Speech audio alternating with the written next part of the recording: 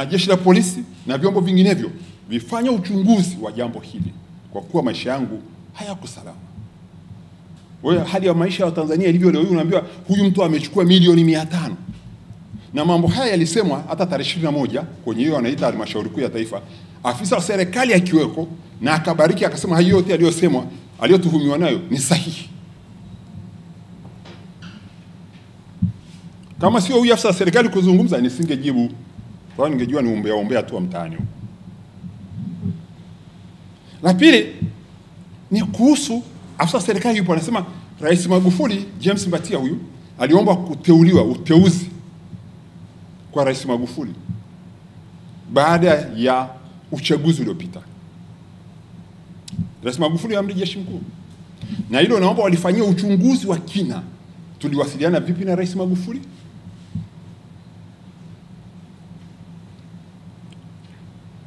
Waje na ushahidi nilivyoenda kumwomba Rais Magufuli uteuzi. Na mimi nataka niwaambie Watanzania na dunia, tangu baada ya tarehe uchaguzi mkuu wa tarehe 25 Oktoba sikuwahi kuwasiliana na Rais Magufuli mpaka alipofariki dunia. Mwenyezi Mungu amlazima alipema. Halafu Rais Magufuli anasemwa tu anasemwa tu. Kwa nini serikali haijitokezi ikamsemea? Yaani Magufuli kila kitu alichofanya ni kibaya tu, mnaiumiza hata familia yake. Sio kwamba nasema alikuwa Mungu au alikuwa malaika, lakini alikuwa amri jeshi mkuu. Kila siku Magufuli, Magufuli, Magufuli, Magufuli, kulikoni? Alafu anamhusisha na James Batia. Ni kweli nilikuwa naonana na Rais Magufuli nikiwa mwenyekiti wa TCD, na nikienda kuona naye sikuwa nafanya kificho, nilikuwa nakutana naye Ikulu, very official, na tunakubaliana moja mbili tatu. Na mara ya mwisho mimi kukutana na Rais Magufuli uso kwa uso ni siku mbili kabla ya, ya kifo cha Rais Mkapa, mwezi wa saba tarehe ishirini na mbili siku ya Jumatano tulivyoenda kufungua jengo la uchaguzi kule Dodoma. Sikuwahi kuonana naye tena. Leo hii Magufuli, Magufuli, Magufuli. Naomba jamani, na ni utamaduni na mila na desturi zetu, mtu ambaye ameshapumzika wamwache apumzike. Wanasema matendo yako mema uliyoyafanya hapa duniani yatakuwa sauti huru na hai wakati haupo duniani. Lakini isitoshe, Rais Magufuli basi hayupo yeye kama amiri jeshi mkuu aseme rais wa sasa ametajwa, na taasisi ya rais ni nyeti sana. Ukishaanza kumjataja rais kwenye mambo haya ya kijinga jinga haya, nasema kijinga jinga mtaani huku, unasababisha una rais asiaminike. Rais Samia ametajwa kwamba James Mbatia, nimelienda kuomba uteuzi kwa Rais Samia, na ndio maana ninahangaika mtaani na lugha nyingi nazosema. Naomba ida, ofisi ya rais ijitokeze wazi wazi kwamba mimi nienda kuomba uteuzi kwa Rais Samia, na mambo haya yanasemwa, afisa wa serikali yupo, afisa wa serikali anayabariki, na ndio anasema ndio maazimio ya kumwondoa James Mbatia kwenye nafasi yake. Sisti Nyahoza, kweli ofisi za serikali hivyo zinavyoendeshwa? Kwa kuwa serikali sasa imesema hivyo, wanihakikishie na rais aliyopo, sisemi yani, hao ndio wanaharibu haribu nchi tu. Yani unajua, ukishaanza kugusa taasisi ya rais, jamii haiwezi kwa, hatutaaminiana tena hapa. It's very sensitive serious. Sijui kama watu wanaliona, huyu ni amri jeshi mkuu. Tunaweza tukajibizana, mimi kama mwenyekiti wa NCCR Mageuzi na mwenyekiti wa CCM Samia Suluhu Hassan, lakini sio kwenye mambo ambayo ni sensitive kiasi hiki. Rais anatajwa, afisa wa serikali yumo na anabariki mambo hayo. Mnamweka rais kwenye hali ngumu tu ya kiuongozi, mnasababisha taifa tuingie tu kwenye taharuki ya kutisha, na kweli taharuki ni kubwa. Huyu ni amri jeshi mkuu, ni mfariji mkuu wa nchi, mnataja. Bahati nzuri yupo, tungeomba ofisi yake hiyo wala sitaki yeye mwenye ofisi yake hiyo ionyeshe kwamba nilivyoenda kuomba uteuzi kutoka kwake, kwa sababu ofisi ya serikali imebariki ime, ime, sajili msaidizi wa vyama vya siasa. Alafu kuna jambo jingine limesemwa sana mwaka juzi, eti tulipewa majimbo ishirini. Hayo majimbo ishirini tuliyopewa sisi yako wapi? Hata hilo moja liko wapi? Tupewe majimbo ishirini, tupewe na milioni mia nane mwaka juzi, alafu hapo hapo niliyepewa milioni mia nane na majimbo ishirini, huyo huyo niende nipewe form feki wakati hata nisigombee. Hiyo serikali iko vizuri kichwani? Mwaka juzi huo watupewe milioni mia nane mimi na ndugu Anthony Bahati Kalisti Koma, naibu katibu mkuu wetu na sasa hivi ndio kaimu katibu mkuu, tukaenda kukopa benki kwa ajili ya kuendesha shughuli za NCCR Mageuzi, na tukawa tumeweka hata nyumba yangu rehani, kwa akaweka kampuni yake rehani, ili tuweze tukapata milioni mia tano kukopa kwa niaba ya NCCR Mageuzi. Na tunashukuru Mungu, ile benki ya kutupatia zile fedha. Baada ya kukaa kwenye bodi, tumebaki wiki ngapi? Zilikuwa mbili au tatu, wakasema kwamba na tulitumwa na chama. Kwa niaba ya chama, baraza la wadhamini wako hapa, ndio walitutuma. Very official, wakatuambia kwa niaba ya chama tunaenda kukopa, lakini kwa niaba ya chama wakasema kwamba mm, mnaenda kwenye uchaguzi, bodi yetu imedhamiria wana, e, makundi matatu hatutayakopesha tena kwa sababu ni wasumbufu. Wakasema hatutakopesha tena jeshi la polisi, hatukopeshi jeshi la polisi wanasiasa na wanasheria. Wakasema kwa sababu kwenye kulipa kuna matatizo, ndio bodi yao ilivyosema. Bahati nzuri hatukuchukua ule mkopo, tungeuchukua leo hii ningekuwa kwenye hali gani? Hapo hapo unasingiziwa kwamba umepewa milioni mia nane alafu serikali kimya, na ni fedha za walipa kodi wa Tanzania. Alafu ni bado nilikuwa nayaacha tu nayapuuza tu, lakini yanapata baraka ya msajili msaidizi wa vyama vya siasa, anasema ndio maazimio halali na kikao halali cha kumwondoa James Mbatia. Sasa si wangenitumia basi hizo tuhuma nizijibu? Mpaka leo hii sijapewa hizo tuhuma, kwenye hicho kikao sikualikwa, mpaka leo hata hizo tuhuma kwa message sijapewa, hata hiyo barua ya kusimamishwa mpaka leo hii sijapewa. Wasiseme eti haya ni mambo ya vurugu ndani ya chama chao cha siasa, sio sahihi kabisa. Haya masuala ya ulinzi na usalama wa nchi lazima tuulinde kwa gharama yote, amani ya taifa la Tanzania, ya taifa letu. Swala la mwisho ni swala la kuna manong'ono minong'ono. Huyu mbaguzi wa jinsia, huyu alitaka kumteka katibu mkuu akiwa anasaidiwa na, na, na, na vijana wake wawili nyumbani kwake, na nyumbani kwake kuna chumba maalum cha siri cha kuteka watu, cha kutocha watu. Mimi ni kiongozi kwenye jamii, mimi ni baba, mimi na familia. Ninaomba vyombo vya ulinzi na usalama, naomba idara ya usalama wa taifa, naomba jeshi la polisi, naomba TAKUKURU waje nyumbani kwangu, na huyo aliyetoa tuhuma hizi waje waonyeshe hicho chumba ambacho James Mbatia kiko ndani ya nyumba yangu ninachoteka nacho watu, waje nyumbani kwangu. Na yeye aungane nao waje waonyeshe hicho chumba nina, ambacho chumba maalum cha kunyanyasa watu cha kufanya vitendo na imeandikwa vitendo vya kikatili na unyanyasaji wa jinsia, waje waonyeshe hicho chumba. Mimi ni binadamu, naomba vyombo serious vinavyohusika.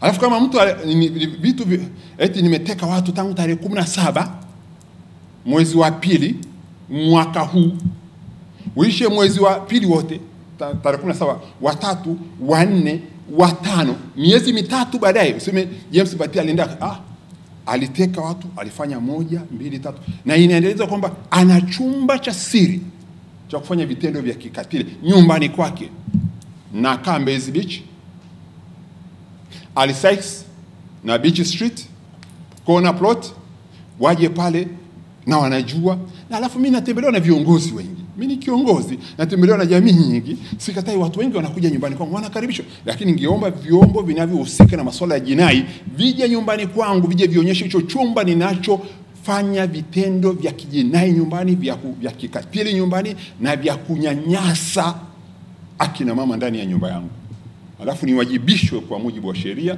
niwajibishwe kwa mujibu wa taratibu na niwajibishwe. Ni kesi ya jinai hii, hii ni kesi ya jinai, ni kesi nzito kweli kweli. Tusifanye mambo haya alafu haya yanasemwa sasa. Hata ingekuwa inaendelea kusema huko, sema ah, ni wanasiasa wenyewe kwa wenyewe huko, au ni propaganda chafu wanapakaziana.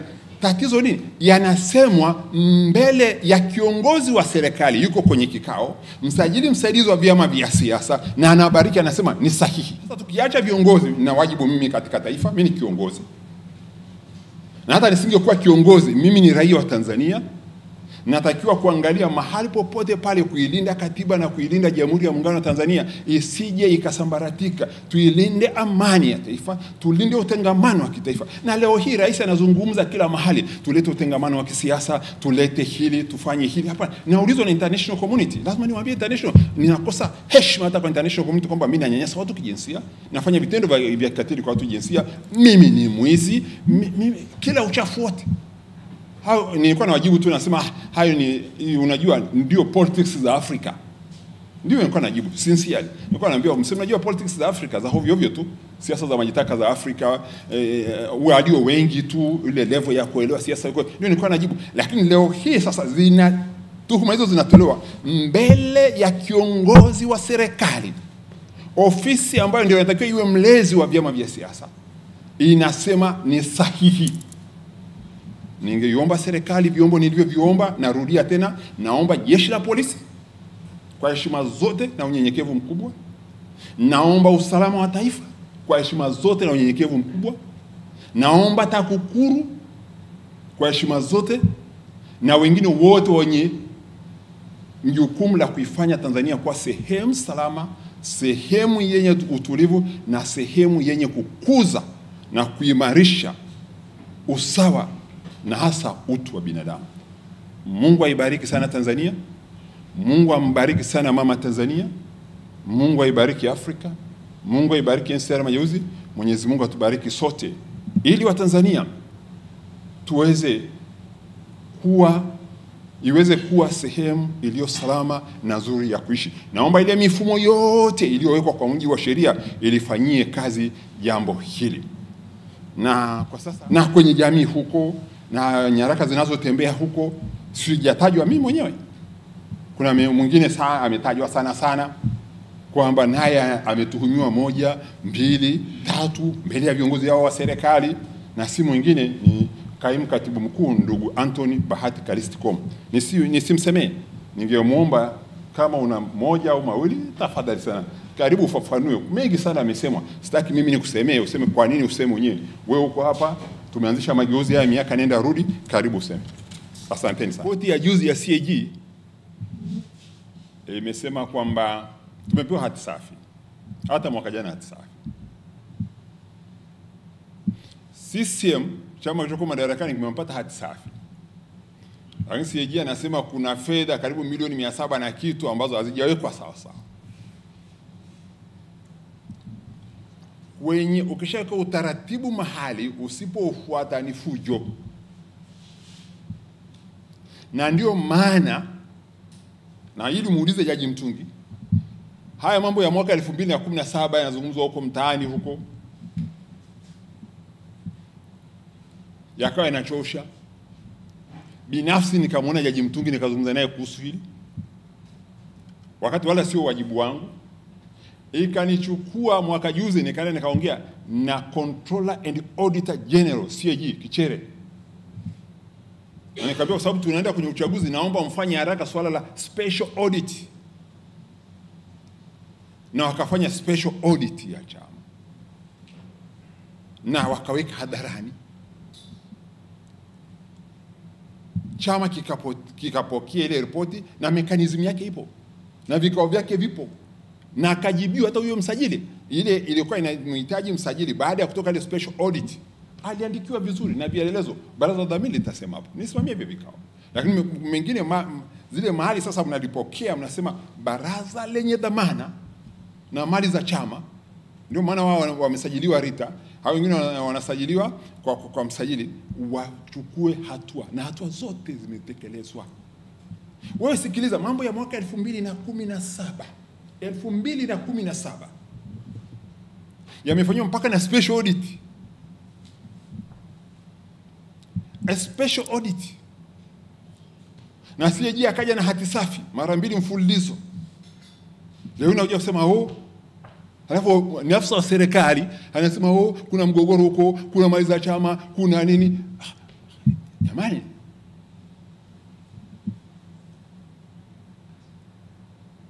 James Francis Mbatia, kama chama kingegundua kwamba mimi ni jinai ndani ya mali hizo, wadhamini wangenichukulia hatua hawa. na sio hao tu, unaripoti kwenye wewe msajili, umeshaona kuna ubadhirifu huu, si unaripoti kwenye vyombo vya dola vichukue hatua. Kwani msajili ni sehemu ya mchakato wa, wa yeye ni mwanachama wa NCCR Mageuzi, aseme hili hivi hili hili, si akitaka ripoti yote anapewa. Ndio maana nimesema hizi ni siasa za majitaka, na hii imekuwa sincerely, yani eh, unajua ni- wewe sijibu. Nilisema juzi hapa kwamba tangu tarehe mbili mwezi Januari sijaongea na media, lakini juzi niamua kuongea, lakini niliona juzi nilikuwa sijajua Jumatano kwamba huyu afisa wa serikali ameongea na wanahabari. Sasa nilikuwa nimesema kile kipeperushi tu. Kweli nilikuwa sijui, nasema sincerely. Ningekuwa nimejua ningemjibu pale pale. Sasa navyoona kwamba hii vita imehama sasa, sio tena ya ndani ya nchi, NCCR majeuzi, ni ya serikali dhidi ya James Mbatia na Anton Com na, na Mtahiwa na baraza la wadhamini. Nikasema hapana.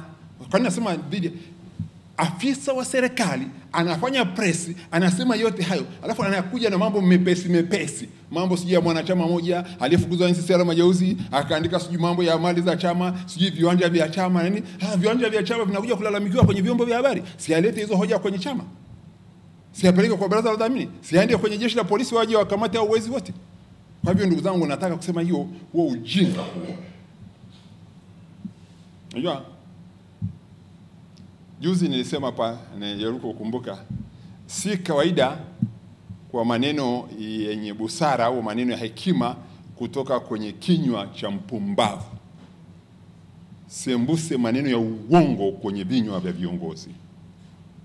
Hii inanisi- hii inanisikitisha sana. Ili swala jingine hili la, la waliosema huko sijui imepanda imeshuka, ni, ni,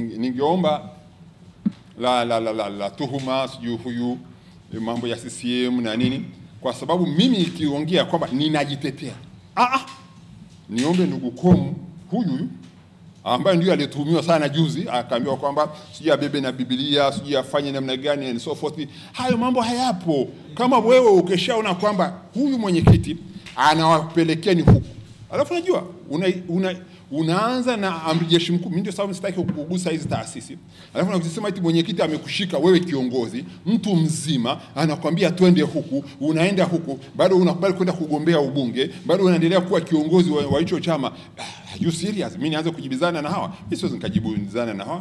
People, kuna hekima nasema don't don't, ndio nasema hizi hata kama ni tuhuma anasema ningekuwa hizo serikali imesema don't argue with a fool. People might not notice the difference.